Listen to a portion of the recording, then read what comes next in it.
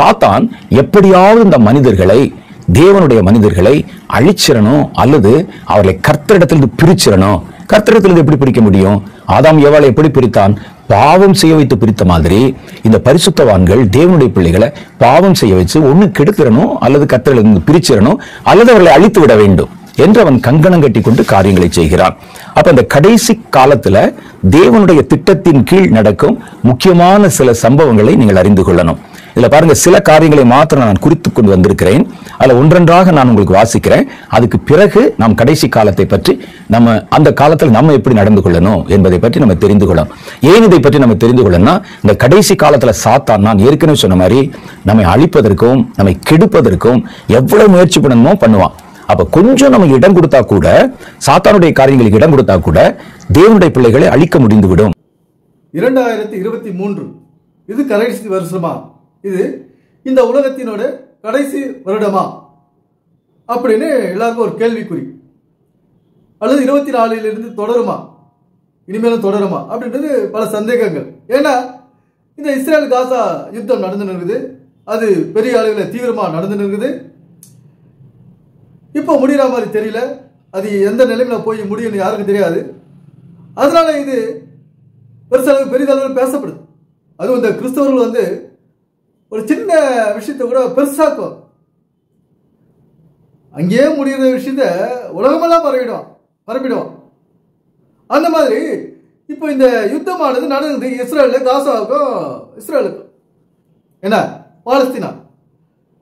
அமாஸ் படையினருக்கும் இஸ்ரேல் படையினருக்கும் இரவு பகல் யுத்தம் நடந்துன்னு இருக்குது இதெல்லாம் பார்த்து இந்த கிறிஸ்தவர்களும் கிறிஸ்தவர்கள் ஆ, உலகம் முடியும் உலகம் மூன்றாம் உலக போர் வரப்போகுது மூலப்போகுது இந்த உலக மக்கள் எல்லாம் அழிய போறாங்க.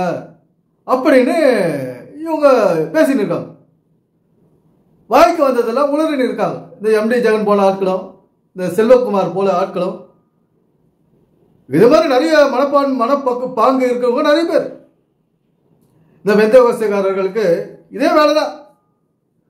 ஆண்டவர் வர போறார் ரகசிய வருகையில ரகசிய வருகையா? ரகசியம்னா ரகசியமா இயேசு கிறிஸ்து வந்து எல்லாரையும் கூட்டு போயிட்டு வரோம் அது யாருக்குமே தெரியாதா? அதுக்கப்புறம் ஆயிரம் வருஷம் அரசாட்சி ஆயிரம் வருஷம் மேலே அரசாட்சி என்னென்ன சொல்கிறான் அதாவது பைபிள் வந்து இருக்கிறத தான் எழுதி வச்சுக்குது. இனிமேல் நடக்க போகிறதில்ல நடந்து இருக்குது இனி இது இது வரைக்கும் நடந்து பாருங்க. போன வருஷம்லாம் இதுக்கு முந்தின வருஷம். அதுதான் இங்கே பைபிள் எழுதி வச்சுக்கிற ஒழிய நம்ம காண்கிறத தான் பைபிள் எழுதி வச்சுக்கிற ஒழிய இந்த நம்ம காணாததையும் நடக்காததையும் இந்த பைபிள்ல எழுதி வைக்கல. காணாதது நடக்கிறது என்னங்க? நடக்கிறது என்னங்க?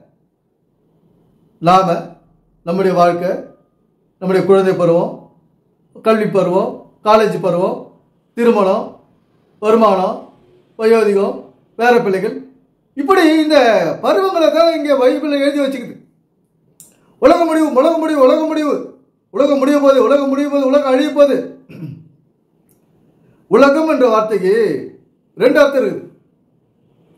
இந்த கிறிஸ்தவர்களுக்கு தமிழும் தெரியாது இங்கிலீஷும் தெரியாது தாய்மொழியும் தெரியாது அந்நிய மொழியும் தெரியாது. இவன் அந்நிய மொழின்னா இவன் பேசுறது அந்நிய பாஷை வச்சு அந்நிய பாஷையும் உங்களுக்கு தெரியாது. ஒரு பயன்படாத ஒரு விஷயத்தை தான் பைபிள் இருந்து சொல்லின்னு இருக்காங்க இது வரைக்கும். மகா பெரிய ம- லாசரஸ் அவருடைய சகோதரன் செல்வகுமார் இவங்கெல்லாம் வந்து இதைத்தான் சொல்லுங்கிறார்.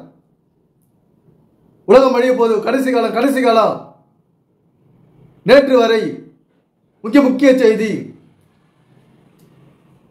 உலகம் என்ற வார்த்தைக்கு ரெண்டு அர்த்தம் இருக்குது. ஒரு அர்த்தம் வந்து இந்த காண்கிற உலகம்.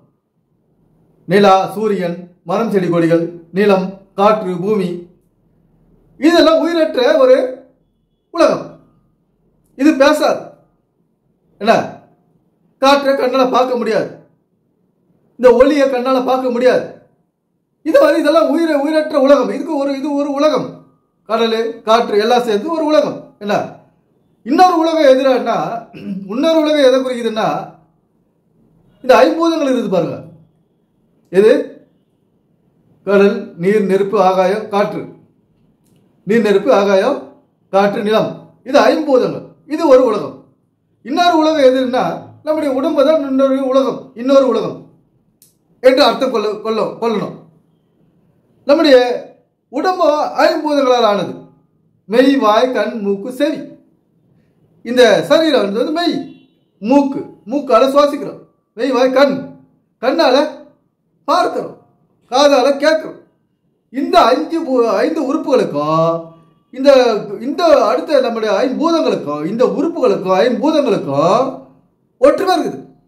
ஒவ்வொரு உறுப்பும் ஒரு பூதத்தை குறிக்குது. இப்போ கண்ணுன்னா எதை குறிக்குதுன்னா கடலை குறிக்குது. காது எதை குறிக்குதுன்னா ஆகாயத்தை குறிக்குது. இந்த மாதிரி ஒவ்வொரு உறுப்பும் ஒரு ஐம்பூதங்கள் வந்து ஐந்து உறுப்புகளோட இணைக்கலாம். இதை இணைச்சவங்க எத்தனை பேர்னு தெரியல? தெரிஞ்சவங்க கமெண்ட்ஸ் போடுங்க தெரியாதவங்க அதுக்கேற்ற கமெண்ட்ஸ் போடுங்க. இது சரின்றவங்க ஒரு லைக் போடுங்க சரி தப்புன்றவங்க டிஸ்லைக் போடுங்க. தவறுன்ற நான் சொல்றது தவறுன்னு நினைக்கிறவங்க டிஸ்லைக் போடுங்க டிஸ்லைக் இந்த மாதிரி நம்முடைய உடம்பாகிய உலகம் ஒரு குழந்தை பிறந்தது பல ஐம்பது நூறு எண்பது அறுபது வருஷம் வாழணும் வயோதிகம் வருது க- உடம்பு தளர் வருது சக்தி இழுக்குது நரம்பு சக்தி இழுக்குது சுருங்கி போகுது அது அது வந்து ரத்த ஓட்டம் இல்லாத போகுது. ஒரு மனிதனானவன் மர- மரணத்தை நோக்கி போகிறான் அவனுடைய கடைசி காலத்தில் என்னென்ன நடக்குது? அதை தான் இங்கே பைபிள் எழுதி வச்சு வழிய இந்த உலகத்தை அழிக்கிறதுக்காக இந்த உலகத்தை உண்டாக்குறாரு கடவுளே. இந்த உலகத்தில் உள்ள அனைத்தையும் அழிக்கிறதுக்காகவா இந்த உலகம் உருவாக்கப்பட்டது? எல்லாத்தையும் அப்படியே தவிடு போடாக்கி மனுஷன் ம- ஐம்பூதங்கள் ஐ இந்த மனிதர்கள் எல்லாத்தையும் தவிடு போடாக்கி தவிடு பொடியாக்கி எல்லாத்தையும் காணாத போகிறதுக்காக இந்த உலகம் உருவாக்கப்பட்டது. காலகாலமாக மனுஷன் இந்த உலகத்தில் வாழணும். அதுக்காக நீர் நிலம் காற்று ஆகாயத்தை மனுஷனுக்கு தேவையானவற்றை காற்றை வந்து இந்த முக முக மூக்கு வந்து சுவாசிச்சு உயிர் வாழுது. கண் வந்து எல்லாத்தையும் பார்க்குது படிக்குது. காது எல்லாத்தையும் சொல்றதெல்லாம் கேட்குது இப்படி இந்த உறுப்புகளுக்கும் அந்த பூதங்களுக்கும் இவ்வளவு ஒற்றுமையை கடவுள் வச்சிருக்க இந்த ஒரு நல்ல விஷயத்தெல்லாம் மக்களுக்கு சொல்லாத மக்களை பயமுறுத்ததே வேலையா இருக்குது. அதுவும் முதலாவது கிறிஸ்தவர்களுக்கு. இது சரின்னு நினைக்கிறவங்க ஒரு லைக் போடுங்க. நான் சொல்றது தப்புன்றவங்க ஒரு டிஸ்லைக் போடுங்க. நண்பர்களே கொஞ்சம் பகுத்தறிவோட நம்ம சிந்திக்கணும். சும்மா இது வரைக்கும் இவனுக்கு வந்து பைபிளுங்கிற ஒரு உண்மையை சொல்லலை. பைபிள்ன்றது ஒரு பகுத்தறிவு புத்தகம். என்ன நமக்கு பயன்படுறதுக்கு பைபிள் என்ன விஷயம் இது?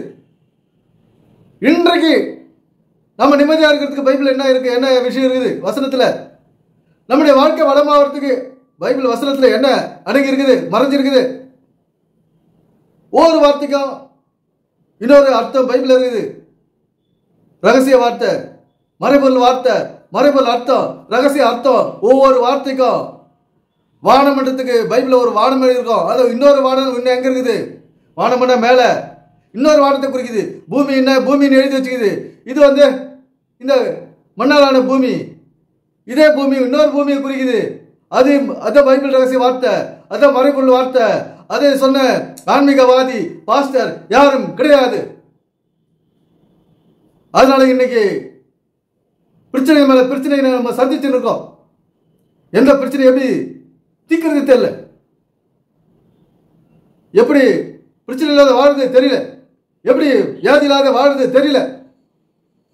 கண் பார்வை எப்படி சரி செய்யறது தெரியல. கிட்னி ஃபெயிலியர் ஆகாது. பார்த்துக்கிறது எப்படி? தெரியல.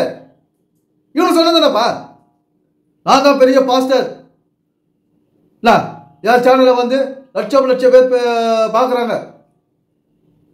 சப்ஸ்கிரைபர் எனக்கு தான் அதிகம். அப்படின்னு மாத்தட்டுகிறவங்க ஒரு நல்ல விஷயத்தையாவது மக்களுக்கு சொன்னதானே?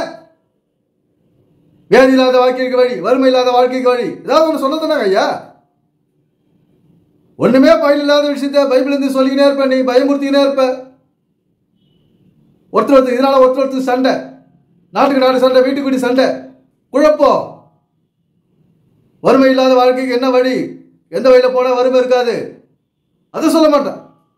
எந்த வழியில் போனால் வறுமையோட வறுமை இல்லாத நம்ம செழிப்பான வாழ்க்கை வாழலாம். அதை சொல்ல மாட்டான். ஆனால் ஒரு ஒரு இடத்துக்கு போகிறதுக்கு வழி சொல்லுவான் அது எந்த இடம் தெரியுமா? பரலோகம் போகாத ஊருக்கு வழி சொல்கிற இந்த கிறிஸ்தவ பாதிரியார்கள் பாஸ்டர்கள் செல்வகுமார் வின்சென்ட் செல்வகுமார் மோகன் சி லாசரஸ் போகாத ஊருக்கு வழி சொல்றோம். முட்டுச்சந்து. அம்மா இந்த ஊருக்கு எப்படி போனோம்? இந்த வழி போ. அவன் காட்டுறது என்னது? முட்டுச்சந்து. அங்க போய் நம்ம முட்டிக்கிட்டு திரும்பி தான் வரணும். இவர்கள் முட்டுச்சந்தை தான் காட்டுறானுங்க. பல்லோகன்றதுக்கு ரகசிய வார்த்தை என்ன? மறுமொழி வார்த்தை என்ன? அது சொல்றது கிடையாது. பரலோகம்னா பரலோகம். உலகம்னா உலகம். அழிப்போதுன்னா அழிப்போகுது என்ன அழிப்போகுது செல்வகுமார் அவர்களே நீங்க தான் அழிய போறீங்க. உங்களுடைய கடைசி கால வாழ்க்கை வ- வயதான பிறகு நீங்க எந்த உங்க சரீரத்தில் எவ்வளவு கஷ்டம் வரும்? படுக்கையில் எவ்வளவு கஷ்டப்படுவீங்க? எழுதுறதுக்கு எவ்வளவு கஷ்டப்படுவீங்க? வயசான காலத்தில் மறிக்கும் தருவாயில? சாப்பிட்றதுக்கு எவ்வளவு கஷ்டப்படுவீங்க? இதைத்தான் இந்த பைபிள் எழுதி வச்சுக்குது. கடைசி கடைசி கடைசி காலம் கடைசி காலம் கடைசி காலம்னு சொல்லு இதை புரிந்து கொள்ளாத MD Jagan Selvakumar Mohan C Lazarus Paul Dhinakaran Dhinakaran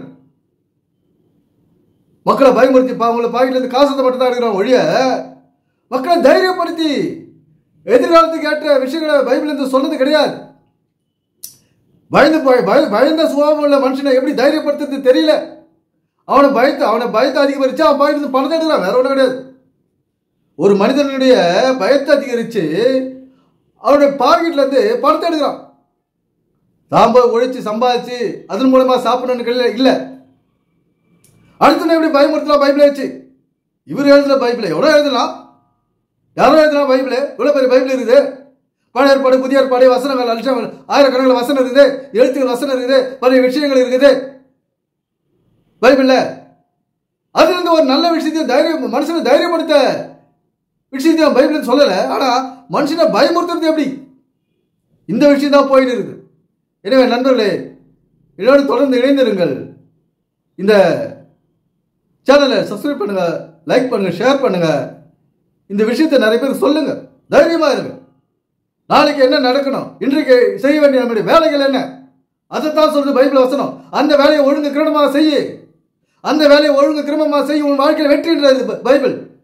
அதுக்கு தான் பல எக்ஸாம்பிள் மூலயமா இங்க பைபிளில் சொல்லப்பட்டிருக்குது. யுத்தங்கள் பயணங்கள் அற்புதம் அதிசயம் இதெல்லாம் எது எதுக்குதான்னா எதுக்குடான்னா இதுக்குதான் நம்முடைய எதிர்கால வாழ்க்கையை வளப்படுத்துறது. எப்படி என்றுதான் இந்த இயேசு கிறிஸ்து வாழ்க்கை வரலாறு சொல்லியிருக்குது எனவே சிந்திப்போம் செயல்படுவோம். நன்றி வணக்கம் நண்பர்களே.